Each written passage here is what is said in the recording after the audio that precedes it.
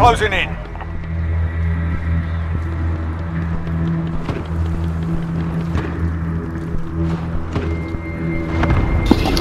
Man, why would y'all drop the low right there?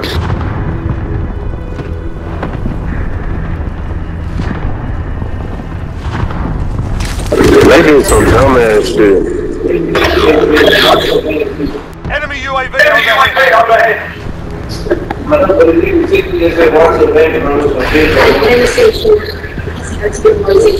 the fuck we supposed to get some? Get some more once a day. You can do some shit, yeah.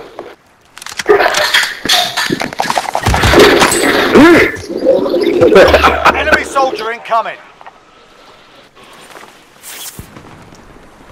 That's low ass shit.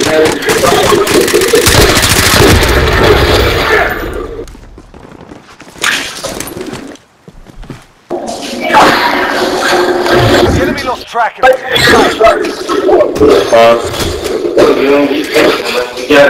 car.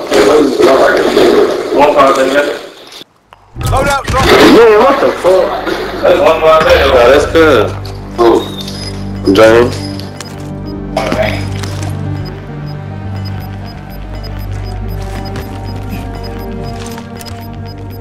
Gas is inbound. Marking new safe zone.